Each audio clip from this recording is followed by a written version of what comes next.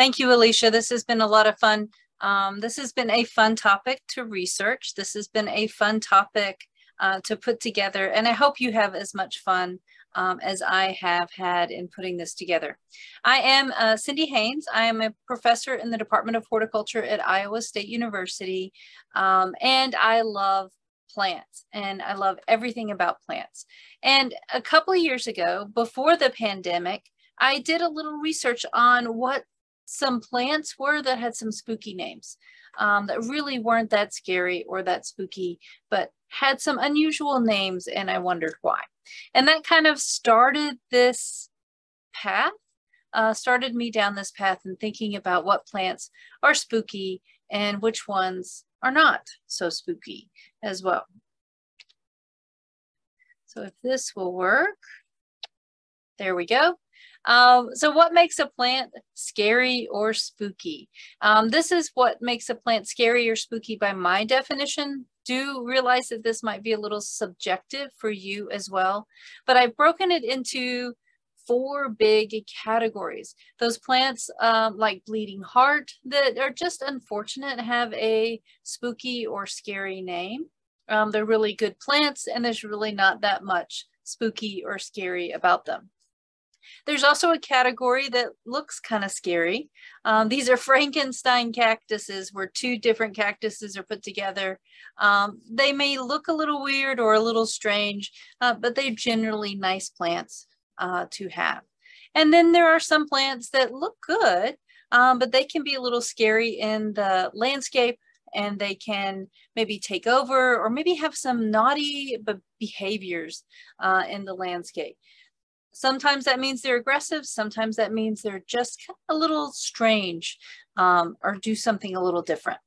And then the final category that I have is those plants that we really do need to be aware of um, that maybe we need to stay away from, but certainly uh, plants that we don't want to um, ingest or eat um, because they may have some kind of toxic effects.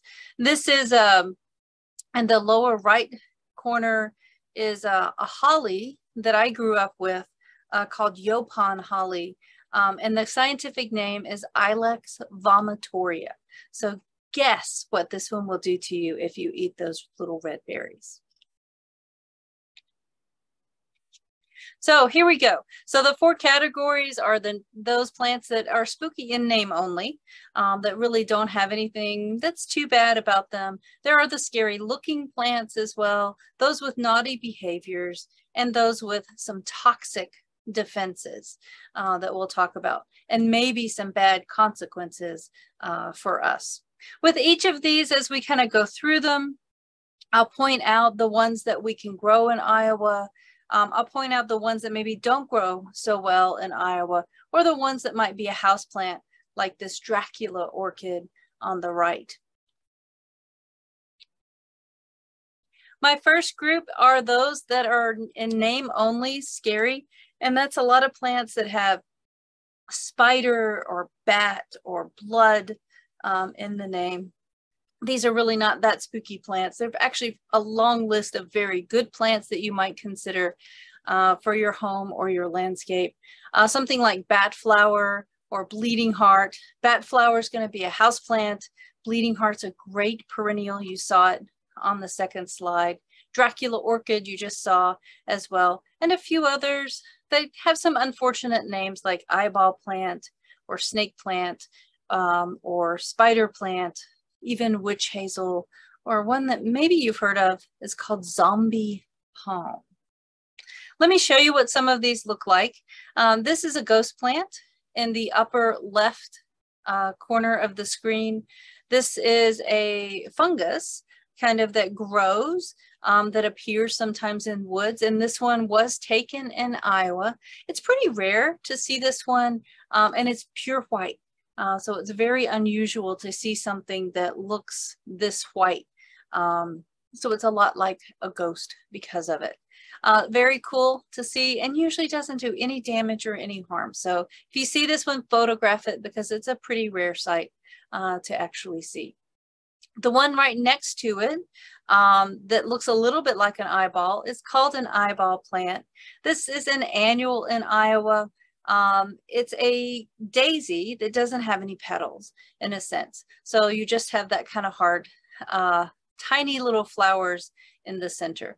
This one's also called toothache plant because when you eat on these flower buds, okay, or these flowers, it will numb your mouth for a few minutes um, and it can be used kind of as a medicinal, um, as a toothache plant.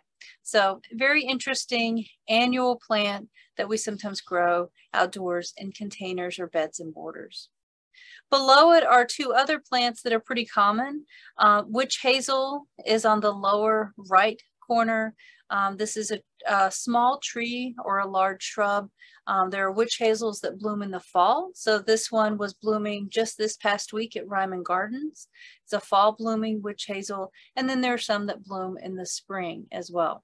Witch hazel sometimes used in uh, lotions and potions as well um, because it has a nice kind of calming effect um, in, in lotions. That's one of the reasons why it's used. And then spider plant is also called airplane plant.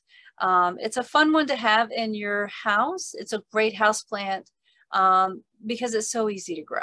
And it's called spider plant because it produces these offshoots, these little daughter plants off to the side that look a lot like spider legs kind of as it's coming off. Um, pretty easy one uh, to grow indoors. This big picture is a Dracula orchid. Um, I took this picture in Ecuador where they have a lot of beautiful orchids um, and it's sometimes called vampire orchid as well. And it's usually in different colors but this one was a black one and it was pretty beautiful. They're pretty rare. They're not the easiest orchids to grow and you don't see it very often. So when you do see it take a picture and then there's a bat flower in the upper right. This is another fairly decent house plant if you have a big enough place and a big enough kind of uh, container for it.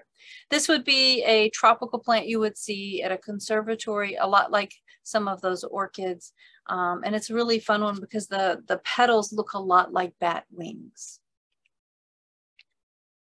There are a few others that we could consider in the spooky name category. Some people consider Naked Ladies kind of scary. So uh, Naked Lady is a bulb that blooms without foliage and it's in the upper uh, left-hand corner, always pink and a great bulb to purchase now for you to plant for having blooms next year. Uh, spider plant is in the center on the top. This is a, an annual plant that reseeds um, and it's called spider plants because the stamens extend beyond the uh, petals, a lot like spider legs. And then gas plant is the other pink one on the top. Um, it's called gas plant because it emits this volatile gas in a sense um, around the flower as the flowers are starting to open. And on a really still, warm night, um, you can go out and uh, strike a match and it'll burst into flame just for a second, but it'll burst into flame. So it is a, it is a flammable uh, gas, which is kind of interesting. Um, it's a beautiful perennial, uh, hard to find, um, but well worth growing and finding. And we're so windy in Iowa, I don't think we have to worry so much about it bursting into flame in the landscape. The three on the bottom are houseplants or tropical plants. Um, the one on the left is called the zombie palm. And it's called the zombie palm because it looks like the, the stems are wrapped in burlap with these kind of cactus uh, thorns kind of coming out of it. It's also called um, Haiti uh, cacti palm or cactus palm because it is from Haiti um, and has these kind of thorny um, spines along the trunk. In the center is snake plant. Um, there are lots of different types of snake plant that make fantastic house plants. Uh, this is a short one. Sometimes they have leaves that have more patterns like a snake.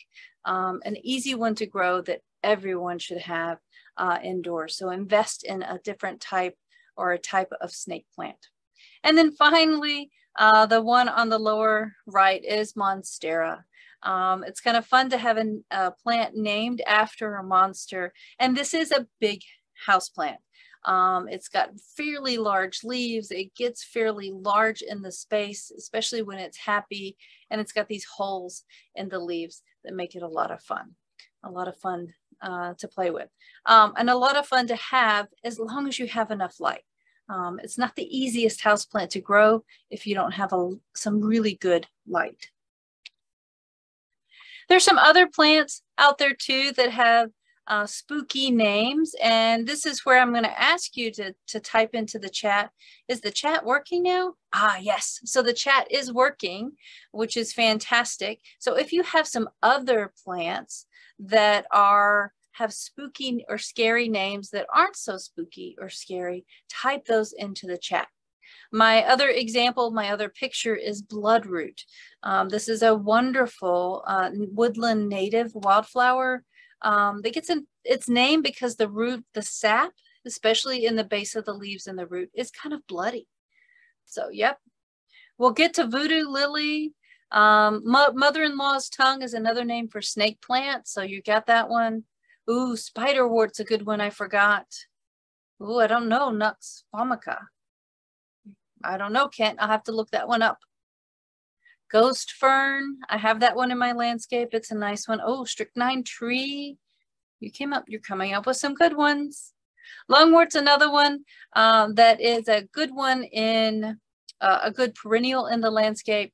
It's not on my list and it should have been. So, and yes, Annabelle will get to Devil's Claw in a little bit.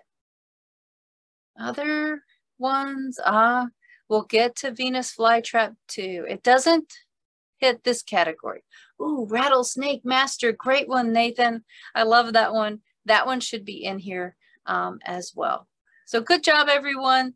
Um, some of these we're going to get to, um, and some of them uh, you'll see in just a little bit. Yes, and Wolfsbane's coming right up. Let me start with the next group. The next group are the scary looking plants. These are the ones that um, have some sort of feature that is a little bit strange or a little bit scary.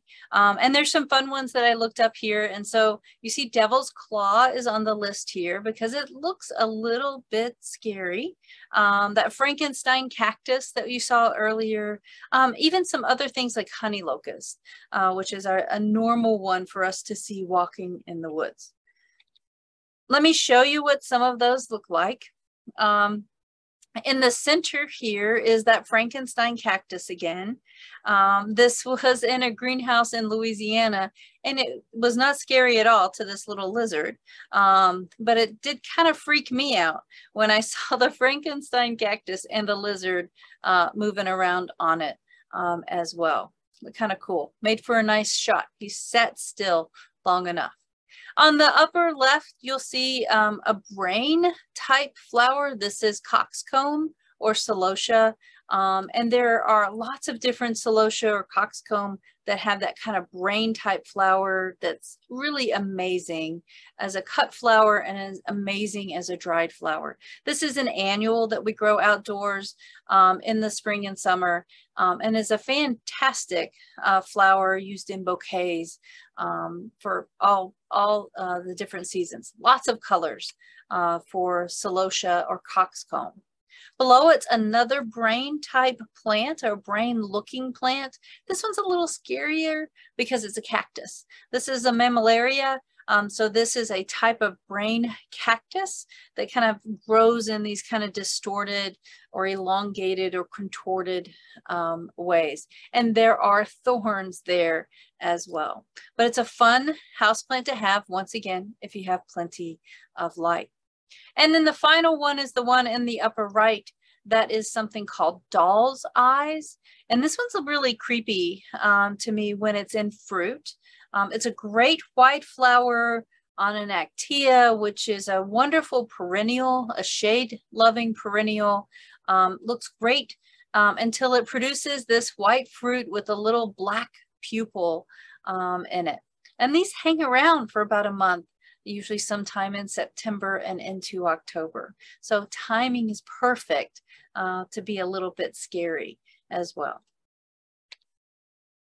A few others uh, that are in the strange and scary looking um, are this bat face cuphea, uh, which is a, a, fun one to actually have as an annual, uh, maybe even a house plant, but an annual in containers outside.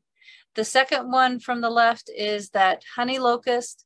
Um, the thorns on the honey locust that grow in the woods are amazing. Um, they're usually three pronged. That's what triacanthos means is three pronged and they come out of the stems and the the trunk and the barks um, all over the place. Um, so it, it's pretty vicious and very protective um, of the trunk and the bark on this particular tree.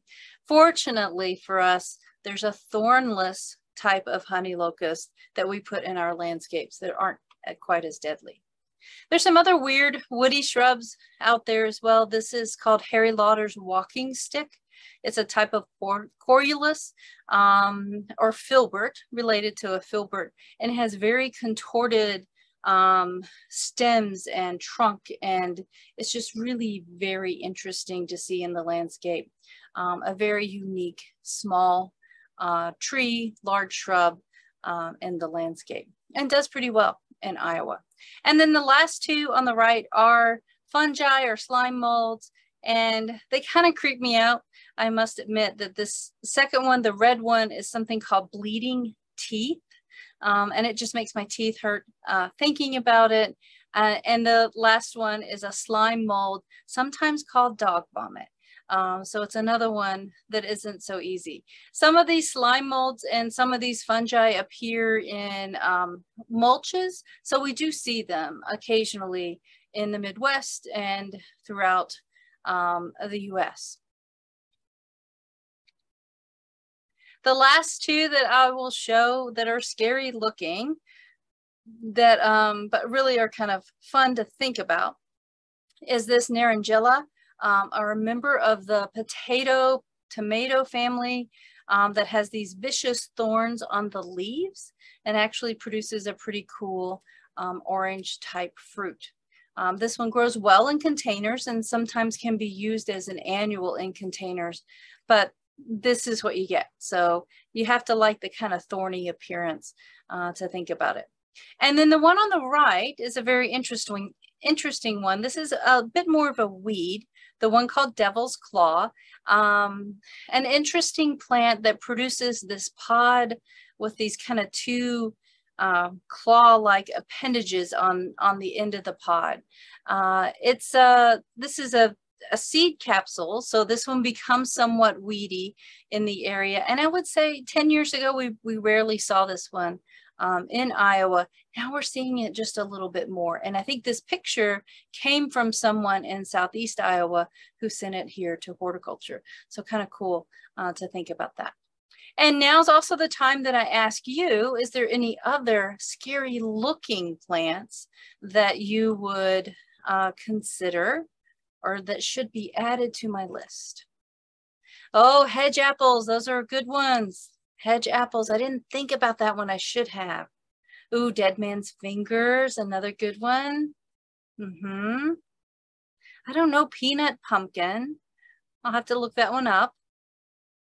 Uh, Madagascar palm. There are a lot of palms that are a little bit strange. I would agree. I should have gotten hedge apples though. Oh, and then the eggplant, um, that pumpkin on a stick, which is actually an eggplant, I think. So pretty cool. You guys are good. Oh, and bittersweet and greenbrier. Yeah, greenbrier is another one. Um, I think that was on the list. I don't think I showed you a picture of um, that is kind of thorny. Um, and bittersweet is a little bit unusual looking as well. Good job. I like this. I like this group. So let's move on to the next group of plants. These are the ones that are a little bit more naughty. Um, they have some naughty behaviors. They don't do everything um, exactly the way we want them to. Um, there are some fun fungi on this list. There are some other weeds on this list. Um, this is the list that includes most of those carnivorous plants as well. And that's because these carnivorous plants not only just look pretty in their landscape, they actually attack things or or um, eat different insects as well. Some of the things that are on this list too attack um, or outcompete other plants in their neighborhood as well. So they become some of the invasive plants that are on this list too. And you'll see some of these that you have seen before. Excellent. So the first uh, three up are the carnivorous plants. Bladderwort is also another one that would be on this list.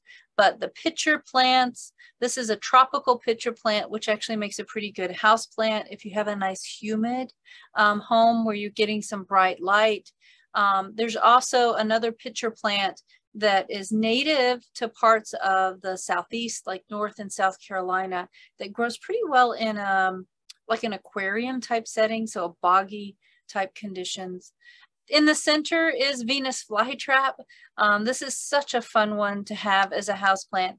It's not an easy house plant to grow, um, but it's a fun one to have even if you only have for a short time. Um, I tell my students that uh, Venus flytrap, um, the traps close because two out of the three out of the four hairs um, are triggered by some sort of insect that moves in them, and then it closes within almost a second, um, and then we'll start to digest whatever's in it or attempt to digest whatever's in it. So you can put even little dead flies and move it around in there and get it to close um, and feed it as well. Both of these plants come from areas which are fairly infertile. Um, so the digestion of these insects is a way to kind of add some fertility or nutrients uh, to their diet. Uh, it's also interesting that all three of these plants, even sundew with the little bee that's trapped in it, um, produce beautiful flowers that attract pollinators and then they let them go. So it's not um, like every part of the plant is always out to get the insects. There are some other naughty plants um, that I call naughty because they generally produce seeds, um, seeds that get everywhere.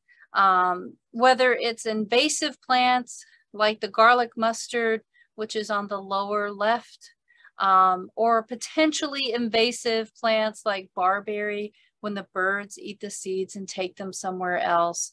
Um, or the two plants in the center, which are perennial or annuals that may spread in certain areas and may not be an issue in others. The lower one is Japanese bloodgrass that spreads by root systems and sometimes reseeds as well, making it an invasive and illegal plant to actually sell in Iowa. The one on top is a fun one. Uh, this is something called Touch Me Not um, or Rose Balsam. It's an old type of impatiens, um, kind of an heirloom impatiens. And it's a fun one to have because when you touch the seed pods, when they're ripe enough, they project it out. It explodes and it sends those seed flying 20 or 30 feet uh, sometimes. So it is a plant that will reseed a lot in your garden, but it's usually not one that's impossible uh, to control because not all of the seed actually germinate. Now, if I could control this one, the big one, this is a stick tight um, that gets all over my pants legs when I'm walking in the woods or my dog's fur uh, when we're walking through the woods, especially this time of year. Um, this is, it Velcros itself to the uh, dog's fur and becomes really knotted and really, really hard uh, to get out. So it's a very good seed dispersal mechanism. Then there are also some fungi and parasitic plants that are also on this list. Uh, they're a little um, interesting. They produce some interesting smells. The one on the upper right is called um, stinkhorn um, fungus, and it, it really does smell very bad. Um, and it often happens on mulches. So, and it's often very colorful um, and, and very kind of creepy looking, but easy to kind of just eliminate. The one on the left in the big pictures is something called artillery fungus. And this one's so cool. It's kind of amazing unless you have it. Um, and then it's amazingly difficult to get rid of. Uh, this is a fungus that actually shoots out the spores uh, a great distance, a lot like that touch me not. And this is those, how they're, those spores are kind of glued to the siding of someone's house and it glues itself very well. It's a very difficult one uh, to get off. And finally, on the lower right is something called dodder. Um, this is a parasitic plant that kind of a vine that kind of grows over a lot of different things, kind of smothers a lot of things out and kind of attacks and um, takes a lot of the carbohydrates from the host plant that it's growing over. Um, pretty vicious, um, but not something we see very often in Iowa, fortunately. So as I'm asking you what other plants you think are naughty in your landscape, these are plants that kind of take over, might be a little bit stinky. Um, there are some other kind of tropical plants that are super naughty, um, or at least on the naughty list often. The one on the left is a strangler fig. Uh, that can kill trees in areas like in Florida and Hawaii. We'll see that one in tropical areas. And then the the naughty plant of the year that everyone loves is the corpse flower or those voodoo lilies, those amorphophallus that produce these amazing flowers that smell really bad because um, they're attracting um, different types of pollinators uh, to, to kind of come to them. So very bad smells from this corpse flower, which is pretty amazing.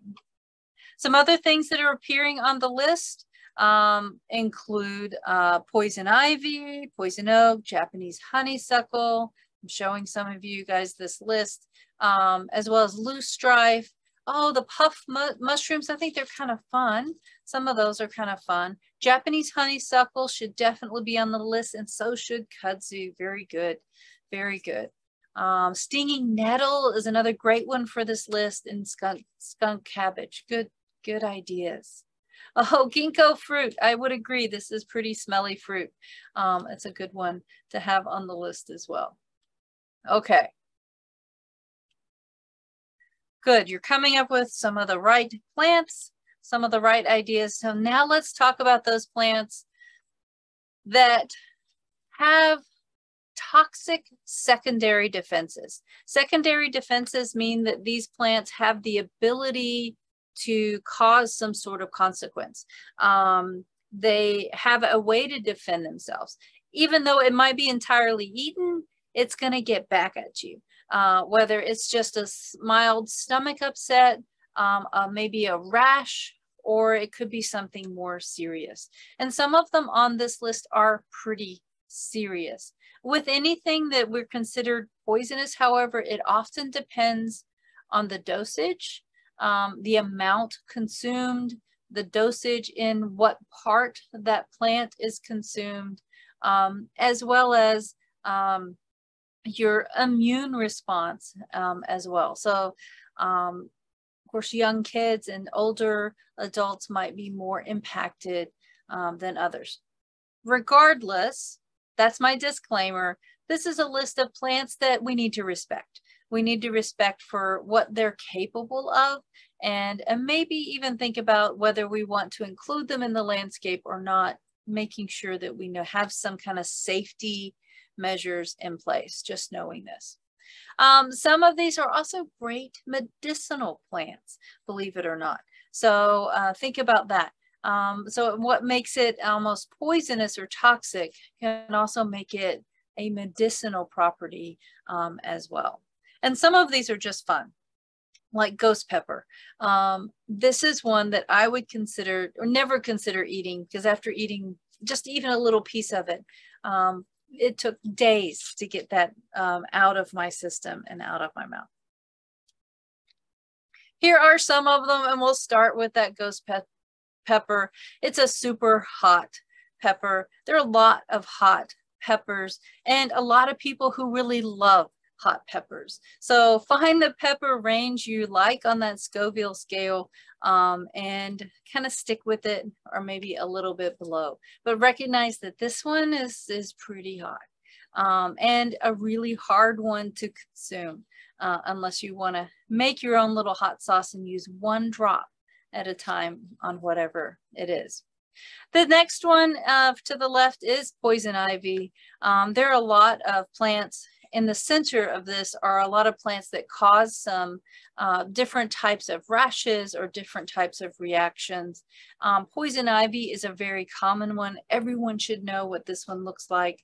Um, that three leaflet leaf that is slightly jagged or serrated, has a beautiful fall color. It's a beautiful vine in the woods, um, but really pretty um, uh, toxic uh, to some people who are susceptible. I'll also mention that sometimes you maybe not think that you could get poison ivy or never break out in a rash. And then I swear right after that, you're going to get it. Um, so it's one of those things that you can go for many years without getting any uh, rash or response and then somehow just magically break out um, after seeing it or touching it. Um, so it is one that is a, a really good secondary defense because it has a lasting impact. The next one is wild parsnip. Um, this is uh, found in our roadsides and ditches, and it too has a kind of a toxic sap that has a phytotoxic response. So you get the sap on your legs or your ankles, and then once you expose your legs or ankles in that sap to sun, then it kind of burns or blisters uh, your skin. It's very distinctive, very painful. So something we should be aware of um, and try and avoid. And then there's also poison hemlock. This looks a lot like um, Queen Anne's lace, looks a lot like uh, the wild parsnip, but white flowers. And it has a a problem when once ingested um, and becomes very toxic and could be fatal uh, to some people. So another one to avoid and be aware of. And then I put you in here too. Um, a lot of us have yews in our landscape and occasionally yews will produce these bright red berries. And the, the juicy part of the berry is actually edible and birds love them. So leave them on there for the birds. But the seeds themselves can be pretty toxic um, and pretty um, poisonous and maybe cause some stomach upset. But yew has been used, uh, yew bark of certain uh, yews has been used for medicinal effects and actually curing uh, some cancers or alleviating some cancers. So this is one of those that has a little bit of a medicinal effect as well as having some kind of toxic effects. Here are a few others that are typically very poisonous and fun to have in our landscapes. Some of them um, but also something that we should be aware of. So make sure that um, if you're planting these, maybe if you have little kids that like to eat things or pets that like to eat things, uh, that maybe these aren't within reach um, of that. I should say that we don't run studies on poisonous plants. No one volunteers for those, um, and no pet um, is actually volunteered for those studies either. So a lot of what we have is very anecdotal data, and then to know what the chemistry of some of these plants are and know that that can be toxic uh, to certain people. So we don't encourage eating any plant, but these I would say definitely take them off the edible list. Um, the ones on the left are at the top is something called oleander. Um, this is a shrub in the south. Uh, it's sometimes grown as a houseplant here, but it's a hard one to grow as a houseplant. But you will see this one if you go to parts of the South, Texas, um, Arizona, maybe into uh, Alabama. Um, you'll see this one kind of used as a shrub in, in landscapes. Beautiful flowers, um, but highly poisonous. Below that is monkshood um, or wolf's bane. Um, this is a very toxic plant. It grows well in Iowa as a perennial in part shade, has this kind of hooded type flower, um, hence the name monkshood um, but uh, was used at one time to grind up the, the roots to bait and poison and kill dogs and, and wolves, and will also have uh, pretty detrimental effects to people as well. Great cut flower, but just not one I would have in the landscape with a two-year-old. In the center is castor bean. Um, this is a beautiful annual um, that can grow really big and it's very dynamic, very tropical looking with these really spiny type seed heads. And the seed inside is super poisonous. In fact, one of the most, most poisonous uh, plants that you can actually grow. Um, beautiful plant, one uh, that I would avoid if you have small children. Uh, the two along the top are another couple of plants that sometimes appear in home landscapes. This is foxglove, the pink one, a close-up of the flower on this one. Digitalis, the heart drug, actually comes from foxglove um, and is a fantastic perennial or biennial, excuse me, um, in your landscape, um, but uh, an interesting medicinal as well as toxic plant um, as well. And then lily of the valley. Who knew that lily of the valley, valley can be pretty toxic? The seed are bright red and very attractive to small children um, and usually pretty poisonous. So one of those things I would keep out of reach of small kids. And then the one in the bottom on the right is called camas, death camas or camas. And um, it is a native in parts of, there's different ones, but this one is more of a mountainous one um, that produces a pretty toxic plant and has a, a little bulb-like root structure. And then some other plants that you might see around. Um, this is called devil's trumpet or Jimson weed um, or datura, the one on the right with the flower. Um, very um, toxic as well and hallucinogen um, that has caused the death of some people. So another one to avoid. And then the one on the left is a houseplant called dumb cane or Dieffenbachia. Uh, and when it's eaten, um, will cause your throat to swell up and becomes really difficult to breathe. Um, so another one that maybe should be avoided in houses with small children. Um, Yes, Liz, the the uh, the pods of Datura are very spiky and spiny, so they're pretty scary looking. So a good thing uh, to avoid. So what are some other uh, poisonous plants that you know of? Um, once again, as a disclaimer, sometimes it's hard to know which plants are poisonous um, because we don't run these studies. Uh, but I see some a few things on here I'm looking at moonseed, euphorbias. Some euphorbias are toxic. Some remember some of these toxic responses might be a skin rash uh, to some people as well as um, maybe toxic for uh, animals or maybe toxic ingested. So hogweed, jack in the pulpit uh, seeds, lantana can be yeah, things, if you don't know if it's edible or not, don't eat it. Don't try it. It's, it's really not worth it. I, I must admit. Right, we've got some other things in here too. Pokeweed is also mentioned. This is a, a weed that we sometimes see. Mm -hmm. Good, you guys are doing really well. On the list of things, I like it. Um, one of the things I don't see on the list, which I'm very happy not to see on the list, is something called poinsettia. Um, that's because we're coming up on poinsettia season, and it is not one of those toxic plants, believe it or not. Um, it is one of the few plants we've actually studied to see if it's toxic or poisonous, and very rarely has it caused any reaction at all. Um, I have tasted it, I have eaten it, and it, it tastes horrible, so don't try it. Um, and the only uh, toxicity usually is a skin rash for some people who are sensitive. So um, poinsettia you can take off the list. And I don't think it's toxic to cats either. Um, I think that's another one where they've actually studied. But toxicity in people and toxicity in uh, pets, two very different things. And once again, we don't run these studies a lot, so it's hard to know. Oh, Bark from the cashew tree. Yes, parts of the cashew tree are toxic or poisonous. Yeah, that's true. Rue can be, absolutely. Oh yeah, crown of thorns, hogweed. You guys have got a nice long list. I appreciate it. We know something about plants. Oh, elderberry.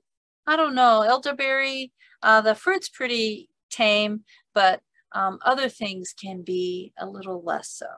So we're getting close to the end of my talk, and um, I think we're at about 15 minutes till the end. This is the last toxic plant I want to show you. This is belladonna or a member of the nightshade family and super toxic.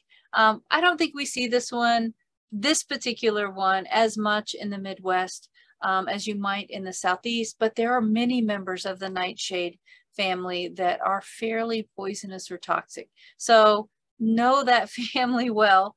Tomato and potato are in that family and are, are quite okay for the most part, but um, there are some that are pretty toxic um, out there. You won't find a poisonous plant list on necessarily on the Hort and Home Pest News page, but on the bottom you will see uh, the list of these kind of strange and spooky plants that kind of initiated uh, this talk. Oh, so, and that's good. And I'm looking at the, the chat again and Buckeye just popped up and that's another good one not to eat. So it's another good toxic one. So what questions do